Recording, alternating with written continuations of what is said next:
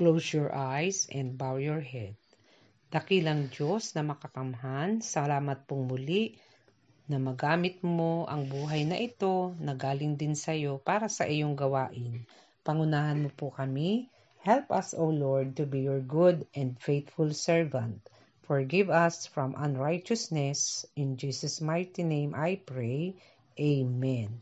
Mga bata, ang Bible story po natin ngayon ay tungkol sa rapture ni Propeta Elijah. Buksan po natin ang ating King James Bible sa 2 Kings chapter 2 verse 11.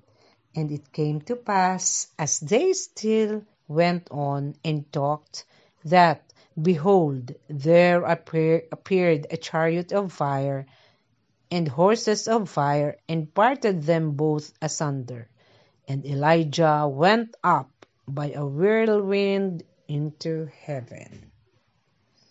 Si Elijah na isang propeta ay nakatakdang kunin ng Panginoong Diyos sa pamamagitan ng pagdaklot sa kanya ng buhawi.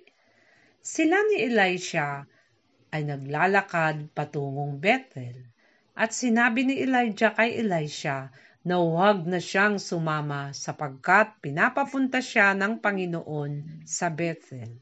Subalit nakiusap si Elisha na hindi niya iiwanan si Elijah kahit na anuman ang mangyari. At silang ang dalawa ay nagpatuloy sa paglakbay. At ang mga anak ng mga propeta ay tinanong si Elisha kung alam ba niya na kukunin na si Elijah ng Panginoon. Sinagot sila ni Elisha na alam niya at huminahon lang sila. At muling pinagsabihan ni Elijah si Elisha na tumigil na sa pagsama sa kanya dahil patungo siya sa Jericho. Subalit muling tumanggi si Elisha na iwanan si Elijah. Kaya po nagpatuloy sila sa paglakbay.